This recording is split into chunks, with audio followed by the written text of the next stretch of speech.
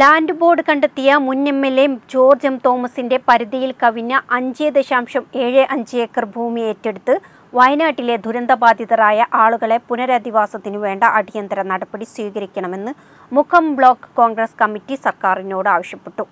പ്രസ്തുത ഭൂമി ഏഴ് ദിവസത്തിനുള്ളിൽ ഏറ്റെടുക്കാൻ കോഴിക്കോട് തഹസിൽദാർക്ക് നിർദ്ദേശം നൽകിക്കൊണ്ട് ലാൻഡ് ബോർഡ് ഉത്തരവിറങ്ങി. ഏഴു മാസം കഴിഞ്ഞിട്ടും ഭൂമി ഏറ്റെടുക്കാൻ നടപടി പൂർത്തിയായിട്ടില്ലെന്നും യോഗം കുറ്റപ്പെടുത്തി.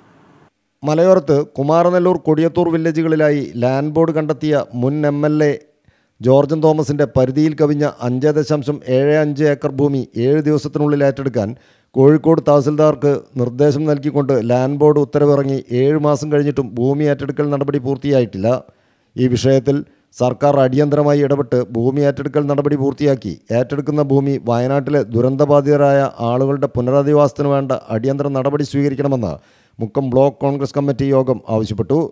രാജ്യത്തെ നടുക്കിയ വയനാട്ടിലെയും കോഴിക്കോട് ജില്ലയിലെ വിലങ്ങാട്ടിലുമുണ്ടായ വലിയ ദുരന്തം വിലയിരുത്താനും ഉരുൾപൊട്ടലിൽ എല്ലാം നഷ്ടപ്പെട്ടവർക്കൊപ്പം അവരുടെ പുനരധിവാസത്തിന് താങ്ങും തണലുമായി നിന്നുകൊണ്ട് ചെയ്യേണ്ട കാര്യങ്ങൾ വിലയിരുത്താനും ചേർന്ന മുക്കം ബ്ലോക്ക് കോൺഗ്രസ് കമ്മിറ്റി യോഗത്തിൽ president M Surajuddin K Madhavan Reena Prakash Muneer Gothambarode M K Muhammad Madhu Master Junaid Pandikasala Saleem Thottathil Kadavu E P Unnikrishnan തുടങ്ങിയവർ സംബന്ധിച്ചു.